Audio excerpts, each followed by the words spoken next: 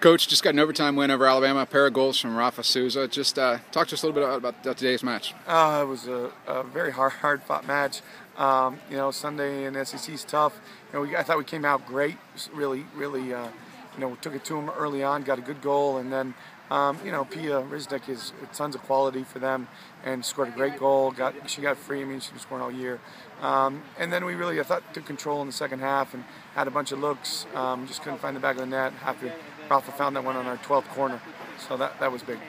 Got one more regular season match here on Thursday night against Mississippi State. Just talk about uh, preparation for that and what we can expect. Yeah, I mean, Know Your Cup. You know, uh, it's uh, it's you throw the records out the the window and uh, you play, and they've got you know one of the best forwards in the league, and Elizabeth Solomon, she's scoring against everybody.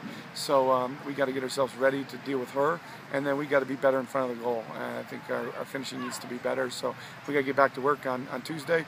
But certainly, certainly happy with where we fit and, and, what, and what we're doing. Appreciate it, Coach. Thanks, Bill.